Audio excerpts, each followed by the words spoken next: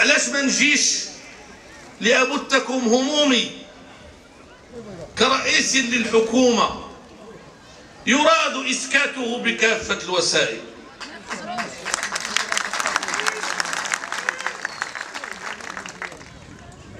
حتى وصلوا لدرجة أنهم يمشيو يشكيو بيا لجلالة الملك. علاش رئيس الحكومة كيقول هادي؟ علاش ما كيقولش هادي؟ والحمد لله. الجواب كان في المستوى.